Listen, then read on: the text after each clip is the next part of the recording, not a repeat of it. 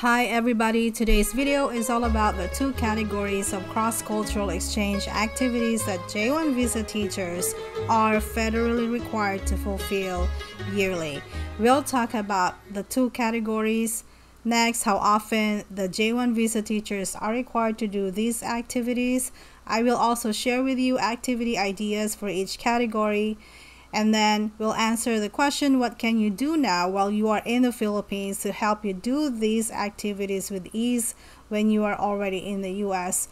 And finally, we will talk about the consequences for not completing these activities. If you have already received and have accepted your job offer, it will help you a lot to know these things as early as now. Some teachers had difficulty creating activities due to lack of resources and means. Stick around till the end for tips. Please subscribe to my channel if you have not done so already. Hit the like and notification buttons as well. I also have a Facebook page and I want to invite you guys to like and follow me there so we can chat and you can join me on my Facebook Live to answer your questions real time. The link to my Facebook page is in the description box below.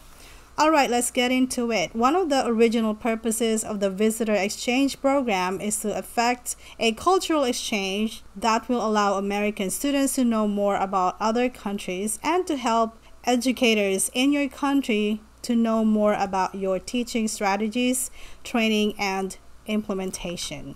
You are expected as a J1 teacher to implement cross-cultural activities in your school and community. All visa sponsors have the responsibility to communicate, enforce, and monitor the compliance of participating teachers to this requirement. Here's an overview. You must be involved in activities that are for the purpose of sharing the language, culture, or history of your home country with Americans. Of course, such activities must not interfere with your instruction or completion of the program. Every J1 teacher must complete during the academic school year one or more activity of each of the following cross-cultural categories. Category A is an activity for the classroom, school, or school district designed to give an overview of the history, traditions, heritage, cultural, economy, educational system, etc. of his or her home country. Category B is an activity that involves U.S. student dialogue with schools or students in the exchange teacher's home country. I got this information from the website of one of the visa sponsors. So what this means is that you must conduct at least one activity for both categories A and B, and this is each school year while you are in the program. Please remember to ask permission from your school admin first before you propose the activity to your visa sponsors. You must also ask the students if they want to participate. Here are some of the things I have done during my participation. So let's cover first um, category A. For year one, I chose to do an activity that involved just my students. I designated a portion of one of my bulletin boards in the classroom that I decorated with things related to the Philippines. Also, every Thursday, instead of the usual bell work, I would share a YouTube video about the Philippines. Here are some of the videos I showed them. Street food. They definitely had wide-eyed, open-mouthed reactions with what Filipinos eat, such as that day-old chick, the Betamax chicken head, etc. Many of them said they looked delicious. OPM, I showed them KZ Tandingan's Wish video where she did a cover of Tadhana by Up Dharma Down. This was a hit since it's an R&B song that many of my students loved. Sport. I showed them a compilation of sepak takraw matches of Philippines versus other countries in the SEA Games. They said the game looked like the players were doing kung fu and they said that it was very cool. Hospitality. I showed a video of Nas Daily highlighting Filipino hospitality. For year two, I did an activity with my colleagues in the math department and the teachers at our hallway. Of course, I also invited the admins and those who were available to participate. I scheduled the activity on a Wednesday when we did not have any seminar. Wednesday in our district is a short day, so students are in classes until 1 10 p.m. only. But teachers are required to stay until 2:40, so I had enough time then to have my cross-cultural activity with them. So that's one of the things you must consider when you are planning your activity if they involve your colleagues and admins. Make sure to not schedule it on busy weeks such as when grades are due. For year three, there was a school-wide multicultural event at our school, so we Filipinos definitely took advantage of this and showcased our food. We ordered chicken and pork adobo, steamed rice, lumpiang Shanghai, and pancit. We each contributed to cover the cost. We were lucky that there's a Filipino restaurant near us in Orlando. It's actually popular there among Filipinos and Americans who are familiar with our cuisine. We also had our table with displays and posters, etc. We were also wearing our national costumes. For year 4, this was during COVID-19 pandemic where classes were done virtually. So I just also shared videos to my students. The visa sponsors, of course, understand that the cross-cultural activity can only be done virtually. Onto year 5, I collaborated with other EPI teachers and we did our cross-cultural activity at a park. We invited American friends and those who were in the park to join us. We prepared popular street foods and sang karaoke. A lot of teachers do collabs with other EPI teachers from other schools, so you can definitely organize something like that too. They performed folk dances and OPM songs and of course shared food and displays as well, while everyone's wearing traditional Filipino attire such as barong, saya, kimono, etc. Due to more teachers being involved in the activity, you can expect more challenging logistics, but it would definitely have a bigger impact if done correctly with proper planning and efficient communications. However, since the group will have to choose just one school as the venue for the activity, it would mean that the other teacher schools will have limited access to the event, if you know what I mean. Anyway, I'm sure there's a way to make sure that this challenge can be addressed.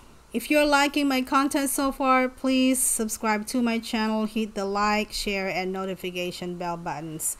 I also have a Facebook page, again, that you can like and follow. Now, here are some of the things I did for Category B. Again, this category involves American students and students from your home country. Of course, pen pals would be ideal for this requirement, but it should not be limited to letters alone. Encourage the exchange of emails, PowerPoint slides, family photos, even Zoom contacts. How I personally did this was by contacting friends back home who were also teachers. I would ask them if they might be interested in having their students do a cross-cultural activity with my own students. I did a postcard exchange one time, so I bought US postcards and have asked those who volunteered to participate to write a message on the postcard for the Filipino students that had been assigned to them. My students were really excited. I just gave them a writing prompt so that it will not be difficult for them to think of what to write. I sent money to the teacher in the Philippines to buy Philippine postcards for my students and she sent it back to me with the messages from her own students already. It was a fun activity. I ordered the US postcards on Amazon. I actually still have a lot of them left with me. Your visa sponsor will be required to collect from every teacher annually reports that detail the teacher's cross-cultural activity components. Some visa sponsors would set a specific due date for each category. Each report should include the following information. First, the teacher's full name, school with location, and of course, the visa sponsor. Second, a date of every activity as outlined above. Third, location of the activity, so that's the school, community, the classroom, etc. Four is the audience and participants in the activity. How many teachers and students will be participating or will be involved? fifth topic of the activity along with its purpose and general design. And the last one is the estimation of the success or impact of the activity. So how often are J1 visa teachers required to do these activities?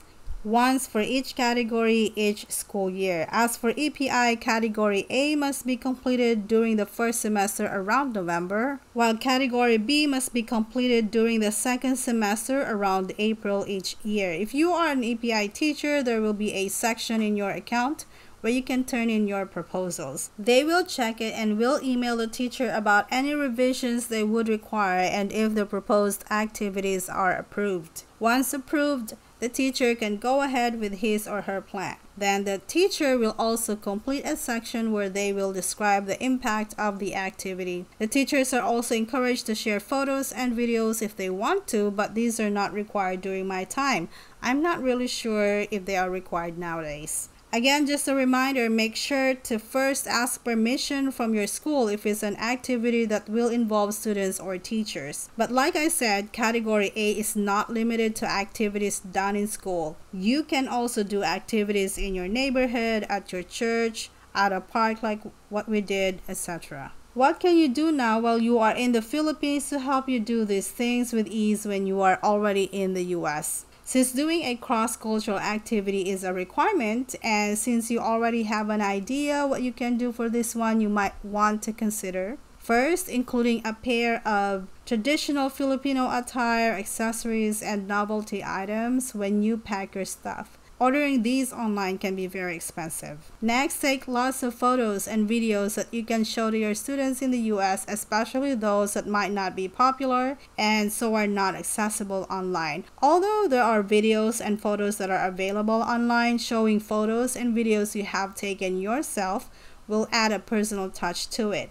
It is even better if you're in these photos and videos. Make sure that they are good quality photos and videos, obviously. Third, take some Philippine money with you in different denominations.